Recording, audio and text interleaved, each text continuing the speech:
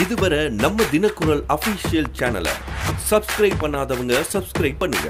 பக்கத்தில் இருக்கிற பெல் பட்டனை பிரஸ் பண்ணி. அதுல ஆல் ஆப்ஷன் செலக்ட் பண்ணுங்க. மக்களுக்கு தேவையான செய்திகளை மட்டும் உண்மையாக ஒரே குரல். தினக்குரல் உண்மையின் ஒரே குரல். வணக்கம். தினக்குரல் செய்திகள். மூவலூர் ஊராட்சியில் கொரோனா தடுப்பூசி முகாம் தொடங்கப்பட்டது.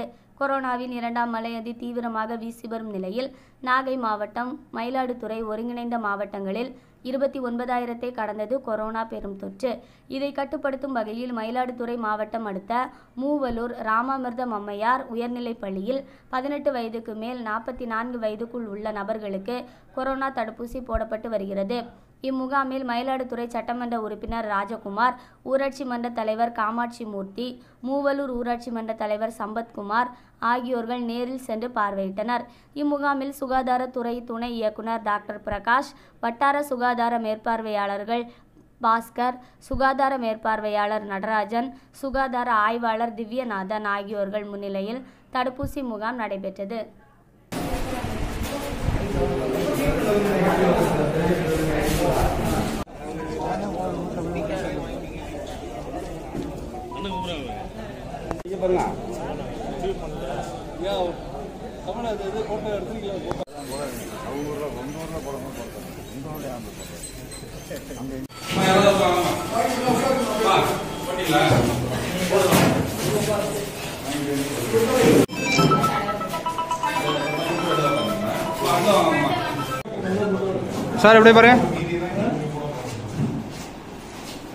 இந்த வீடியோ உங்களுக்கு பிடிச்சிருந்தா லைக் பண்ணுங்க உங்க சர்க்கிள்ல ஷேர் பண்ணுங்க.